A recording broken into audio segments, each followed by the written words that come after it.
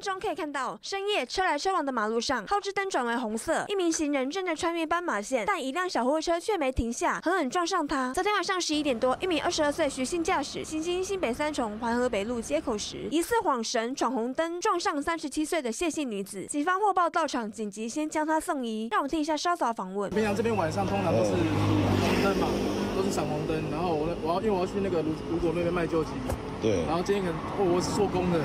然后晚上可能做比较晚，然后我那时候开车，因为我们那个后车还有一点，可能有点就没没有去注意到，注意到他的时候，我就已经踩刹车就转就上道。哦，人跟狗狗的。对，就是可能是过马路散步的狗狗。对，然后司机没看，没注意到红绿灯。遭撞的谢姓女子头部挫伤，上颚骨折，幸好意识清楚，没有生命危险。驾驶详细肇事原因还有待厘清。